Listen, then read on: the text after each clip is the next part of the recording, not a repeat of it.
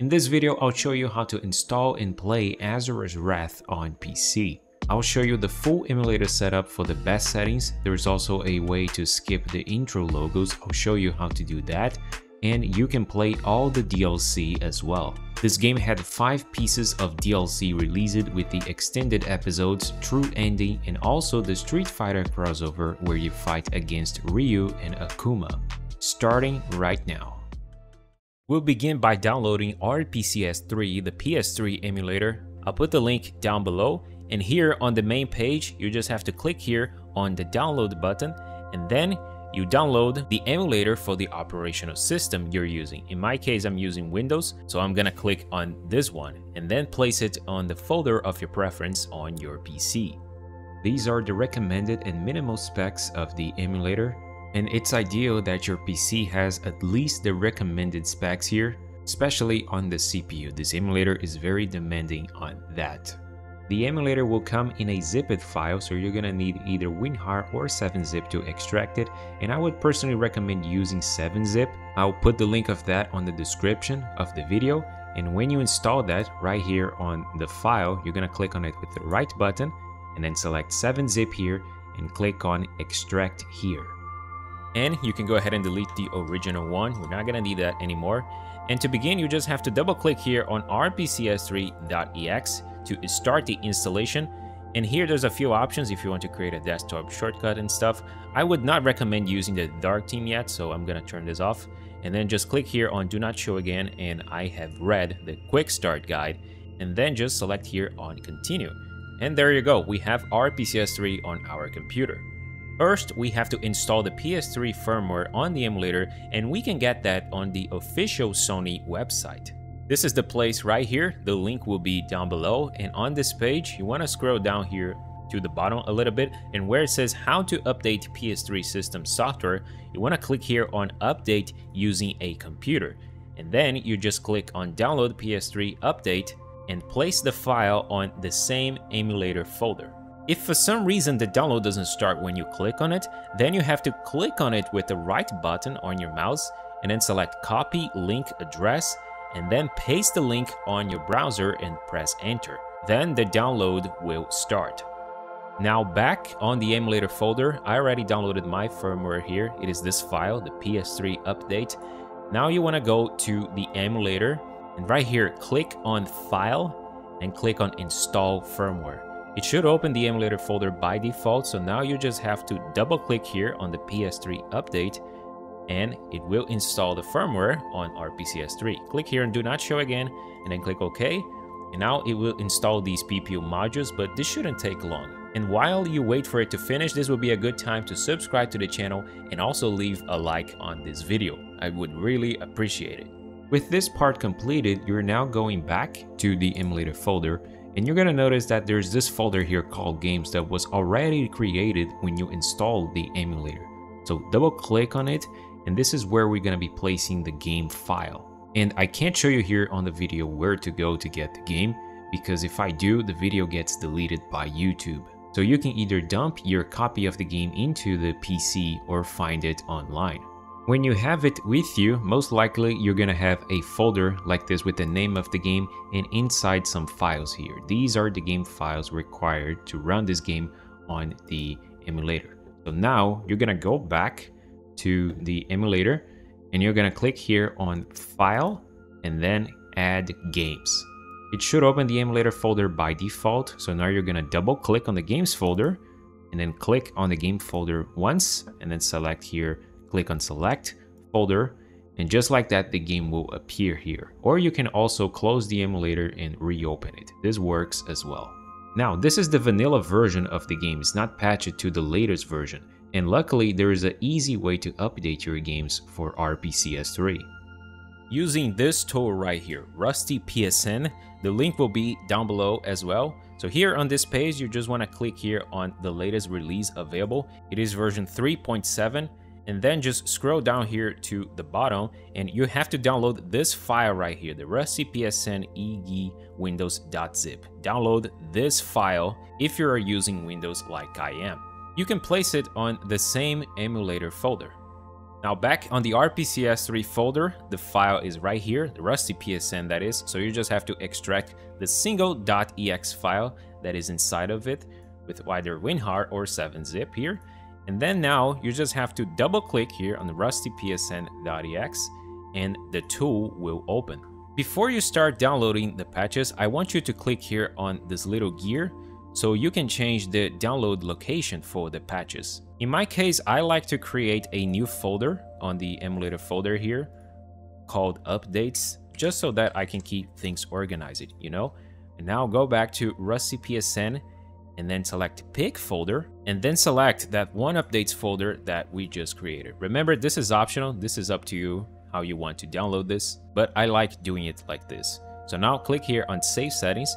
Now to download the patch, we're gonna need the game serial code and we can get that on the emulator right here on the game. You're gonna click on it with the right button and then select the option from the bottom, copy info, then you're gonna click on copy serial. Now go back to Rusty PSN and you're just gonna paste the code right here and then click on search for updates.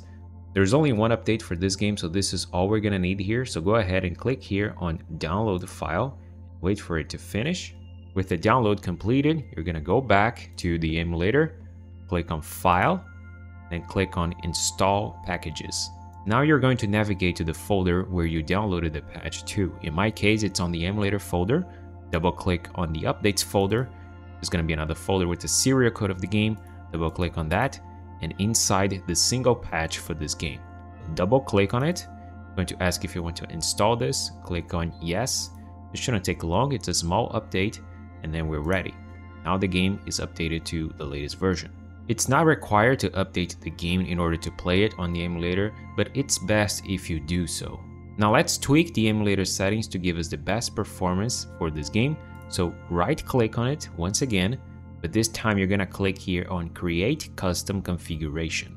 This window will show up and first you're gonna head over to the GPU tab and right here on render make sure that you have Vulkan selected here but if that doesn't show up that means your GPU does not support it so you're gonna have to play it on OpenGL. The performance is worse on OpenGL and there's also some glitches as well so if you do have Vulkan go ahead and select this one right here. The anisotropic filter should be left on auto, otherwise it will introduce some glitches.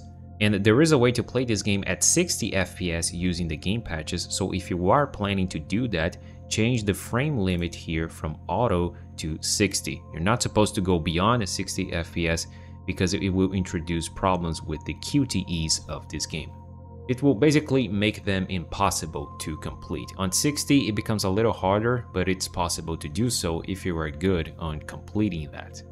Leave all the other options here on the default, but if you are planning to increase the game resolution, keep the default resolution at the recommended here and increase it here on resolution scale. But if you are going to change the resolution to anything other than 100%, like, let's say, for example, if you want to play this game at 1080p, you have to increase the resolution scale threshold to 512 by 512 exactly. You can use the keys on your keyboard like this, press left and right to be more precise.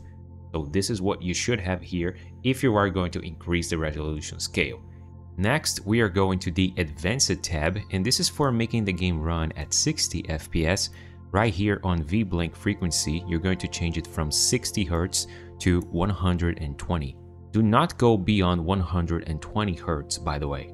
If you play this game at anything higher than 60 FPS, the QTEs will become impossible to complete. Next, this part is optional, but I like going here to the emulator tab and disable the show trophy pop-ups, PPU compilation hint, and shader compilation. They can be annoying because every time the emulator is doing one of these, you're to have a notification on the left bottom side of the screen. And that can be annoying because it's going to happen a lot while you're playing the game for the first time. Now we are done here, so go ahead and click on apply and then save custom configuration. Now we're going to enable the game patches of the emulator. So right click on the game once again, then you're going to click here on manage game patches.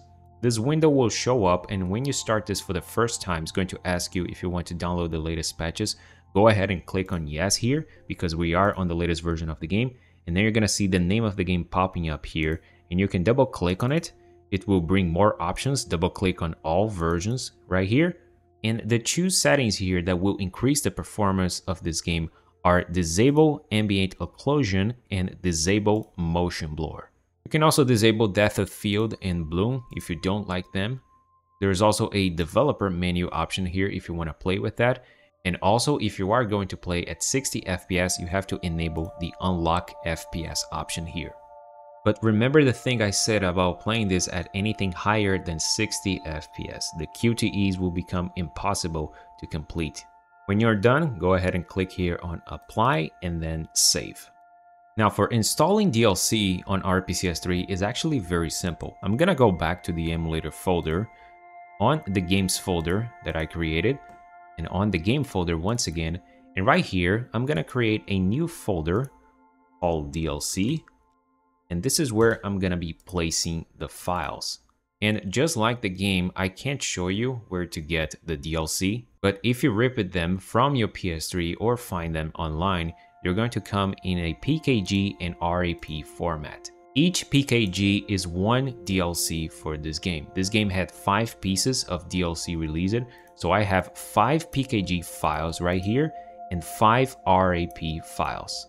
And the DLC also needs to be the same region as the game. If you have the American version of the game, you need the American DLC and so on. Also, do not rename them by the way, keep it on the original name Otherwise, you're gonna get a error when you try to install them on the emulator. Now, with the files in place, you're gonna go back to the emulator, click on File once again, and then click on Install Packages. Navigate to the folder where the DLC is, in my case, the Games folder.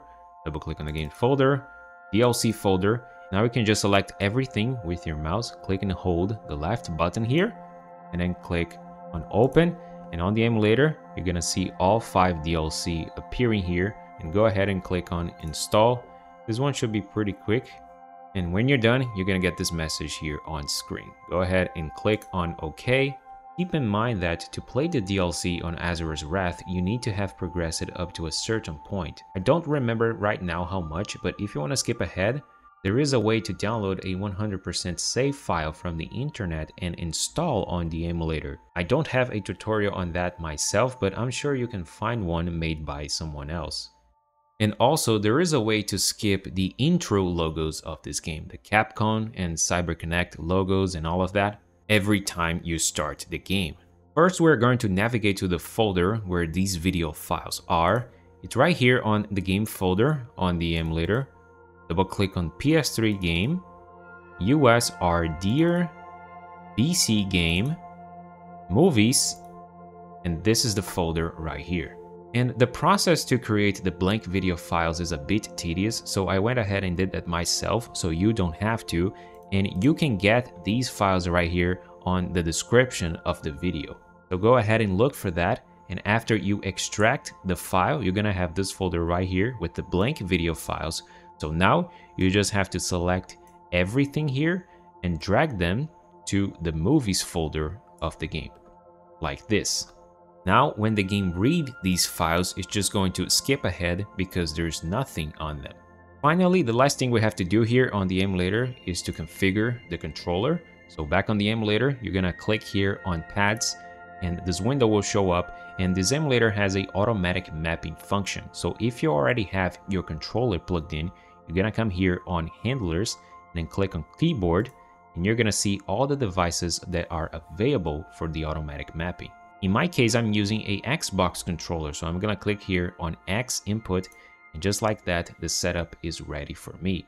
You can play with your keyboard as well, if that's what you wanna do here.